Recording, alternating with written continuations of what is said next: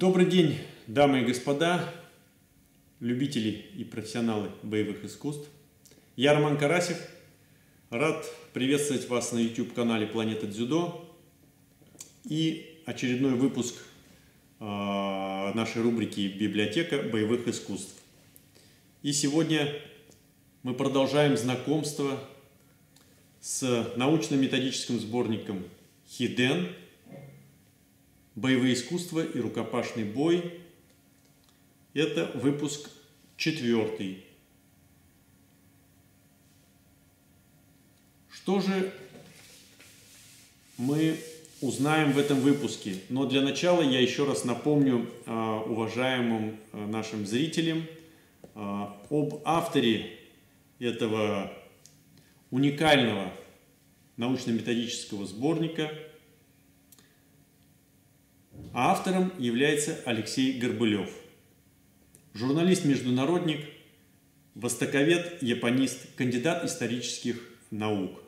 Много лет э, пишет, издает э, много статей, публикуется э, о истории боевых искусств, истории Японии – Э, является доцентром кафедры истории и культуры Японии, читает много лекций об э, истории Японии, как я уже сказал, и боевых искусств, а также является мастером боевых искусств. И это очередной э, выпуск э, научно-методического сборника Хиден, это четвертый выпуск. И чем же интересен этот выпуск для специалистов э, боевых искусств. Во-первых, исследованием, которое проводит много во всех практически своих э, выпусках, Алексей Горбылев печатает здесь свои исследования. И в этом выпуске исследование Алексея Горбылева «Рессорные полы в японских залах дзюдо и кендо».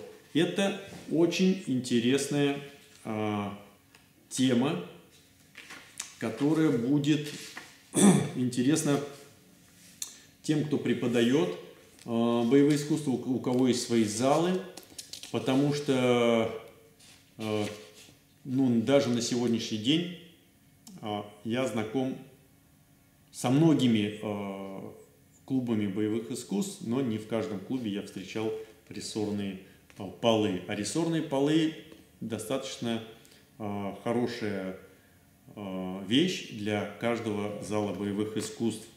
Ну, почему хорошая вещь, э, вы сможете понять, прочитав, ознакомившись э, с этим исследованием. Здесь приведены схемы, как строились эти полы в залах боевых искусств.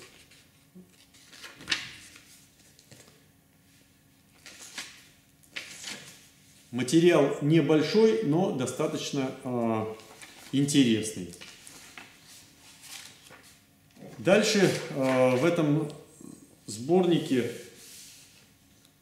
в четвертом выпуске, материалы, э, переводы материалов известных мастеров боевых искусств Японии – и э, переводы выполнены Алексеем Горбылевым и размещены в этом выпуске научно-методического сборника Хиден. Это Найто Такахару и Монна Масаси. Стандартная ката кендзюцу Общество воинской добродетели Великой Японии. Также все э, материалы многие материалы, в большинстве своем, они дополнены фотографиями, как вы видите.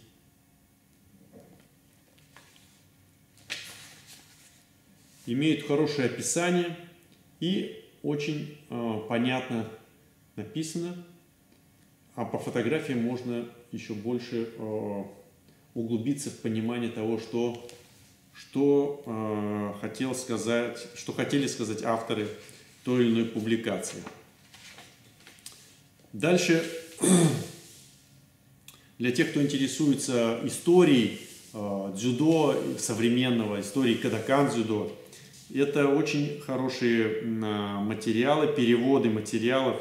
Опять-таки переводы выполнены Алексеем Горбылевым, как я уже сказал. Он очень много внимание уделяет этой теме э, истории боевых искусств и много материалов переводит. Э, у него есть допуски к, ко многим э, старейшим библиотекам в Японии и в Китае, где он берет материалы из фондов и переводит, а потом мы можем с вами читать эти материалы в таких научно-методических сборниках Хиден, которые он выпускает. Итак, э, в четвертом выпуске научно-методического сборника Хиден материалы Кана Дзигора о высшей ступени дзюдо, рассуждение о назначении упражнений в ката и рандори в дадзё и о функциях ката и рандори. Материал обширный, материал очень интересный.